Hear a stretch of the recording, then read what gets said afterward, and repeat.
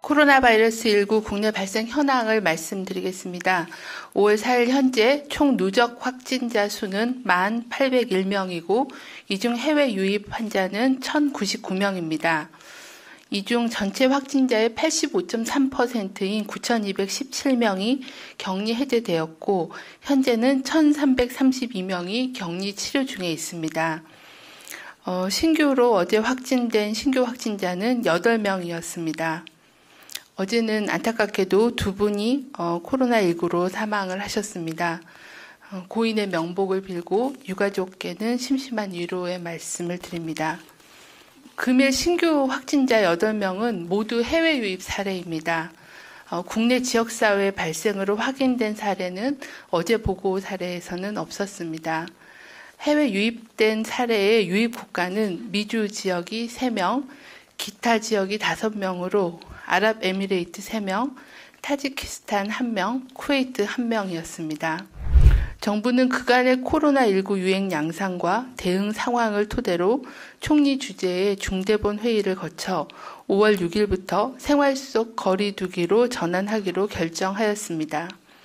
코로나19는 단기간 안에 종식이 되는 것은 어렵고 전 세계적으로도 대유행이 장기화될 것이 예상됨에 따라 국민 여러분께 바, 국민 여러분께서는 어, 방역의 주체라는 인식하에 생활 방역 5대 수칙을 일상생활에서 철저히 준수해 주실 것을 당부드립니다.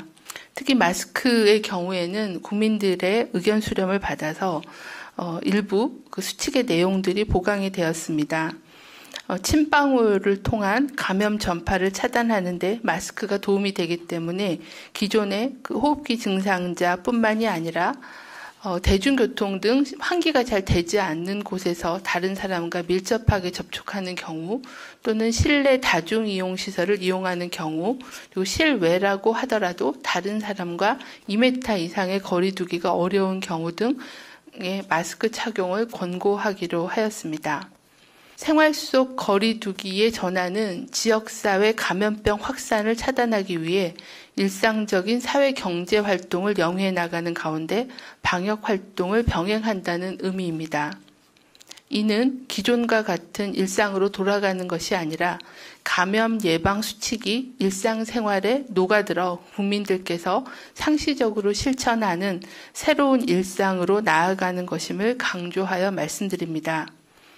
또한 코로나19의 상황이 악화되는 경우는 언제든지 강화된 사회적 거리두기로 돌아갈 수 있음을 염두에 두면서 생활 속 거리두기를 계속 유지하기 위해 국민 개개인과 사회와 정부가 함께 어, 노력하는 것이 필요하다는 그런 말씀을 드립니다.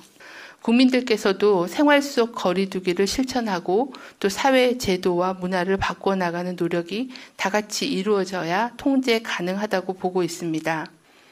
방역당국은 코로나19 국내 유행 상황과 생활 속 거리두기 이행 상황을 지속적으로 모니터링해서 감염병 상황이 악화되는지 경계하고 살피며 대응 수준을 조정해 나가도록 하겠습니다.